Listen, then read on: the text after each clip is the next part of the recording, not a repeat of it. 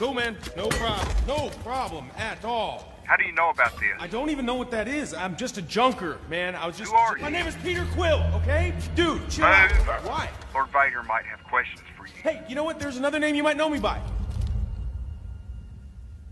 Star Lord. Who? Star Lord, man. Legendary outlaw. Guys, Move. I forget this.